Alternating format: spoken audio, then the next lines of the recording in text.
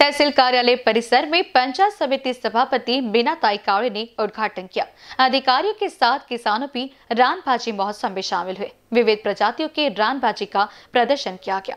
पार्श्वनी कृषि विभाग की ओर से सोमवार को तहसील कार्यालय परिसर में रानबाजी महोत्सव का आयोजन किया गया था।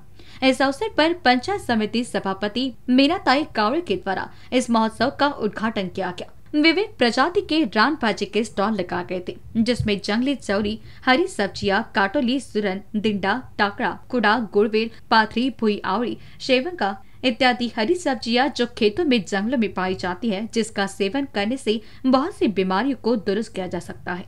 रानबाजी का नियमित सेवन करने से मानव शरीर में जीवन सत्व की कमी दूर की जा सकती है, इसलिए सही में रानबाजी का सेवन करना ज़रूरी है। इस तरह की जानकारी तालुका कृषि अधिकारी डॉक्टर ए टी कचे ने दी। इस अवसर पर ग्रामीण क्षेत्र के किसान ने महोत्सव में हिस्सा लेते हुए इस बारे में और भी जानकारी साझा की। इस अवसर पर कृषि विभाग के तालुका कृषि अधिकारी doctor A T Gache madam जे विभाग Kanan Pramod Somkuwar, Moreshwar Bhavani, Ashish Deshmukh, Amit Jhod Sunil Bampal, J B Bhalerao, R T Sonmare Shana Tomre, Vikram Deshmukh, Archana Sabkar Sonali Rathod, Akash Pogarkar, Suhas Sate Dhole Saheb, Sudarshan Bhosle और भी कर्मचारी इस अवसर पर मौजूद थे। Mission news के लिए पार्श्व से रुपेश खंडारी की रिपोर्ट।